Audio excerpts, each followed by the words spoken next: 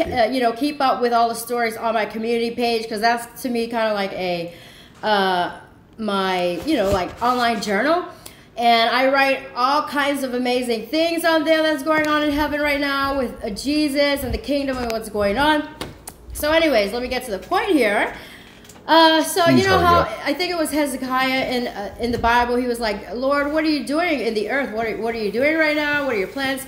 And the Lord said, "You know, even if I told you the truth, you would not believe me."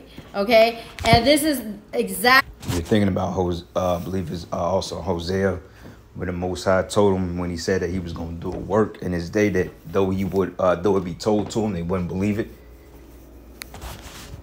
exactly with me, like even as I am telling you the truth, because this is the truth, you're not gonna believe me because it's so crazy, outlandish, wild. But you know, you have to remember. Hey, I know you're in the middle of something, but I wonder if you just take a few seconds to pray with me real quick.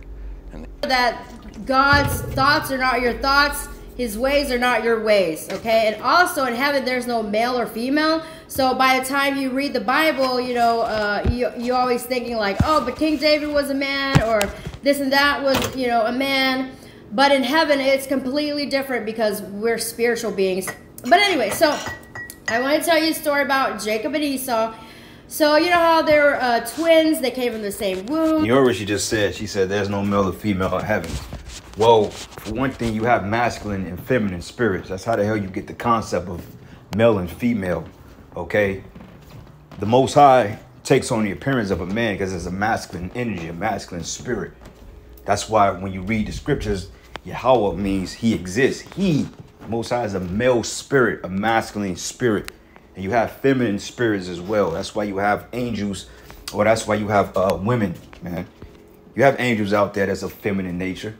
You know, like a banshee, so to speak. Like a banshee is a basically like a folk form from Ireland.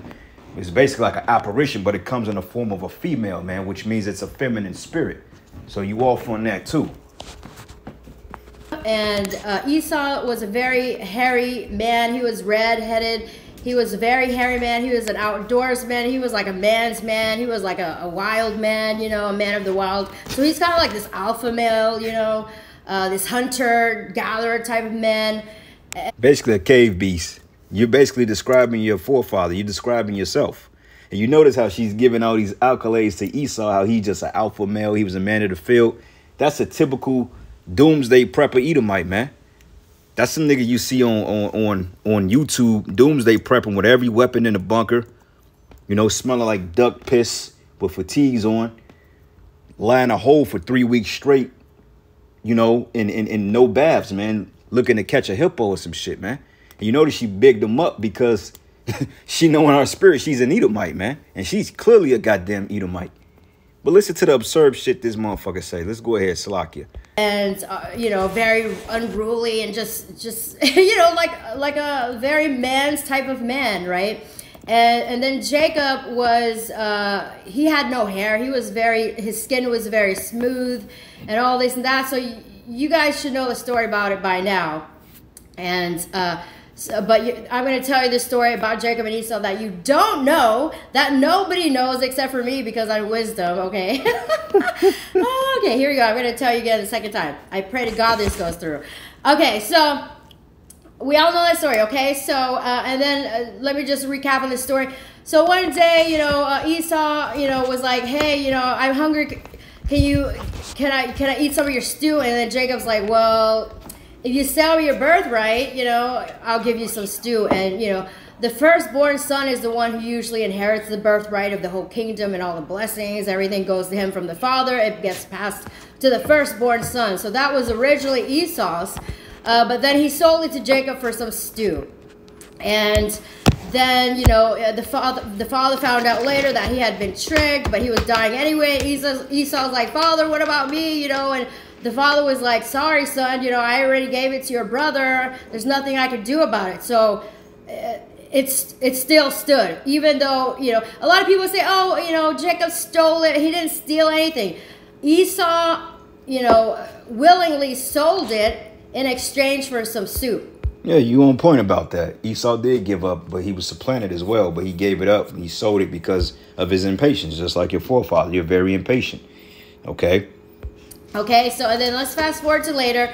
Uh, Jacob, you know, Esau finds uh, Jacob finds out Esau's coming, and he gets all scared. And he he runs to uh, Esau and he bows in front of Esau seven times, and. Uh, and he's uh, okay. Let me get to the story later. Ah, I wish the first video got recorded. Okay, so uh, what does this have? What is the truth about it that you don't know? Okay, so in heaven, okay. So who else were twins? Jesus and I are twins.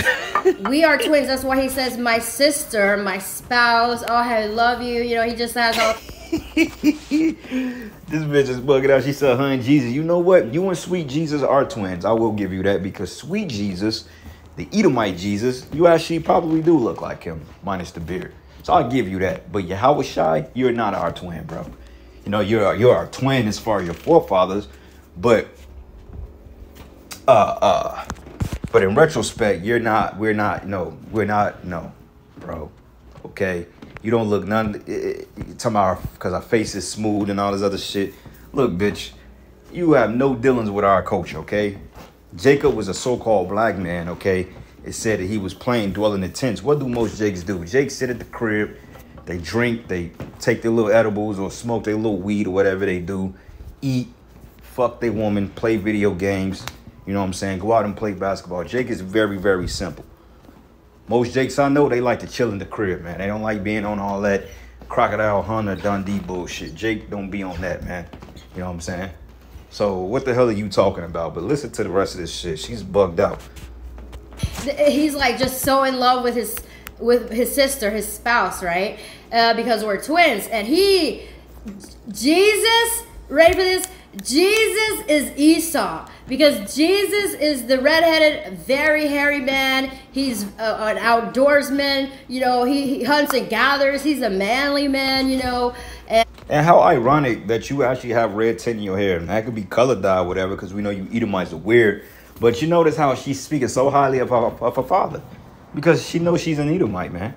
Okay? man, when you say Jesus is an Edomite, yeah, that, that Cesare, yeah, he is an Edomite. Serapis, I believe he was an Edomite, if I'm not mistaken. I believe he was. Serapis. But Yahawashi, that's a so-called black man, baby. What are you talking about?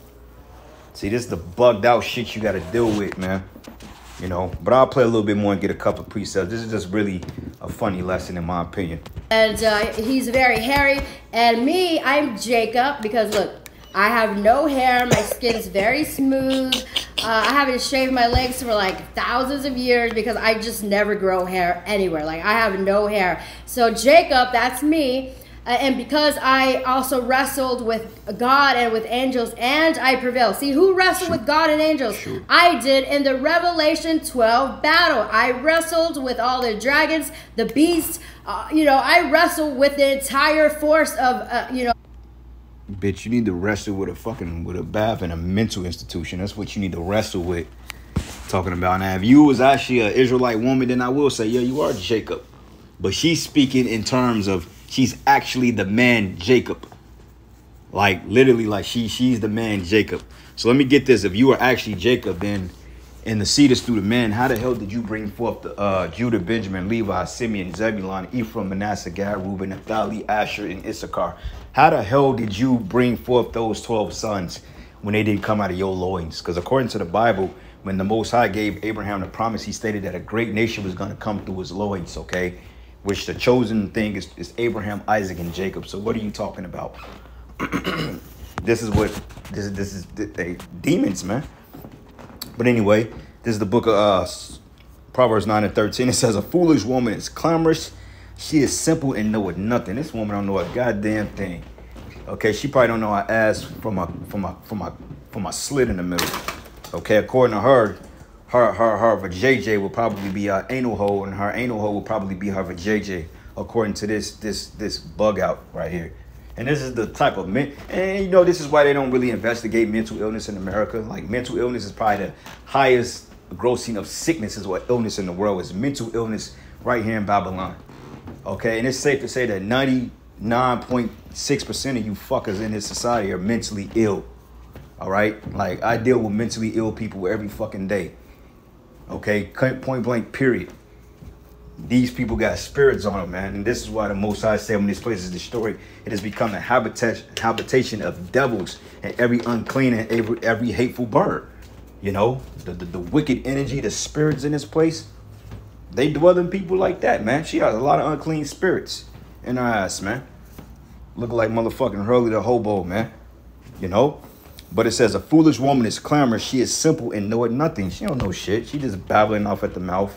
You know what I'm saying? Like I said, man, she just needs a Jake Rod mouth. She just needed just she just needed Jake down her throat, man. She'd be alright. You know what I'm saying? Then she'll know what a Jake is like. Then she know who's Jacob once he put the the, the, the rod of correction on her ass and she shut all that psycho babble up. okay? Because really, only thing, this the best thing for you women right now is just to shut the hell up. Or just shut up. Don't talk. You better uh, seen and not heard. And sometimes both. You better not seen and, and not heard. So you women, just shut the hell up, man. Okay? You have no platform. You have no voice when it comes to voicing your opinion on the word of Yahweh Shimi Hawashai. I don't give a damn if you're a Christian, you're a Catholic, or you're a fucking nun. You have no business dealing speaking the words of the Heavenly Father, especially if he wasn't authorized to do so. So just shut the fuck up, man. Okay? Last precept, Isaiah 61. Arise and shine, for thy light is come, and the glory of the Lord is risen upon thee. It says, For behold, the darkness should cover the earth, man. And people are literally in his spirit.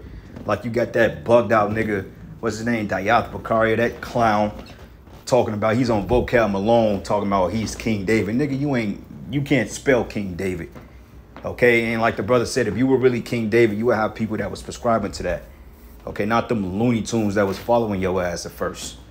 Oh, I'm King David. Get the fuck out of here. And you notice what all these simple ass jakes do? They go to vocab and they start talking this shit, which gives him ammunition to further demonize the ministry. And we know it's all prophetic.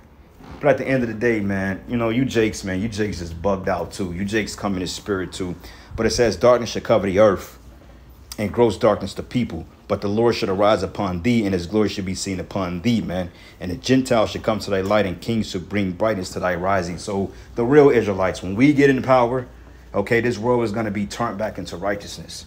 Okay, none of this psychobabble that you're seeing with this Miss Muffet looking demon right here. Okay, like she's really bugging out.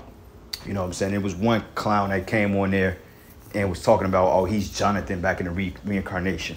Okay, some booger nose, bug eye, snot nose Jake on there. Probably never watched his stanky ass dreads. You know what I'm saying? Talking about, oh, I'm Jonathan in the reincarnation. Like you niggas make you give Israel a bad look, man. And it's always you Old Testament or you just you weirdo. It's just always you weirdos, man. You know, you just can't just do the work and be grateful that the Lord has given you a part of this ministry to partake in, but yet you want to bring all the extra shit to it. Niggas talking about they reincarnated on I was a banana in my last life, and this time I'm a human. In my next life, I'm gonna be a bag of Skittles looking ass. Fuck these, man. This place is through. But hey, with that, all praises and glory and honor that's due to Yahweh, Bashimi, Hawashai, Bashimra Kakodash. And with that, Shalom and the Baba Ball. We almost out this bitch. Shalom.